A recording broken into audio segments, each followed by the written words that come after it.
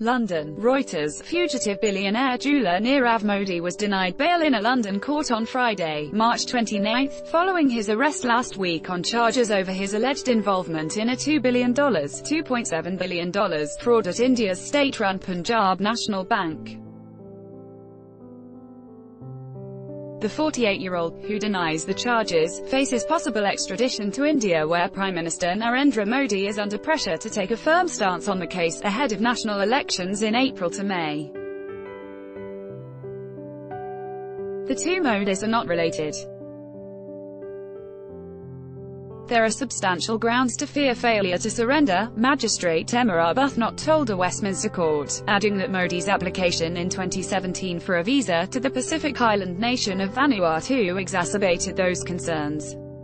A witness has alleged that Modi threatened to kill him and had also offered around 2 million Indian rupees $39,000 as a bribe to offer false testimony. Toby Cadman, a lawyer representing the Indian government, told the court. The prosecution also alleged that mobile phones and a server containing evidence critical to the fraud case have been destroyed at the request of Modi, Cadman said. Claire Montgomery, a lawyer representing Modi, said there was no evidence to support the claims of witness intimidation. Modi, whose diamonds have adorned Hollywood stars such as Kate Winslet and Dakota Johnson, is among those accused in India's biggest banking fraud, which has shaken confidence in the country's state banking sector.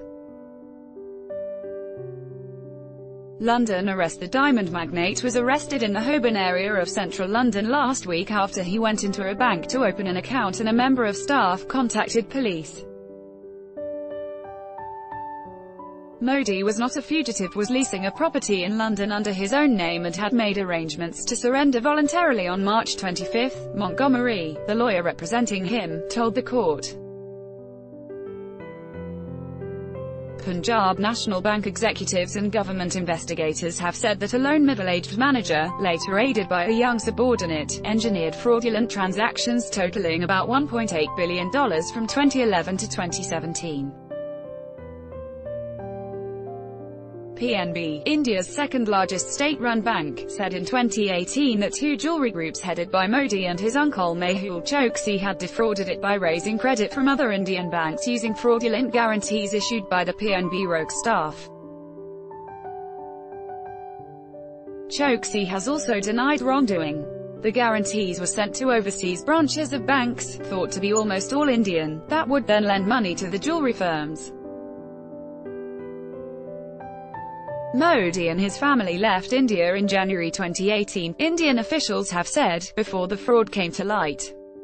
Wearing a white-collared shirt and moustache and stubble instead of the clean-shaven look familiar before his arrest, Modi smiled and nodded at the judge before being led away. His next scheduled appearance before the court is via video link on April 26.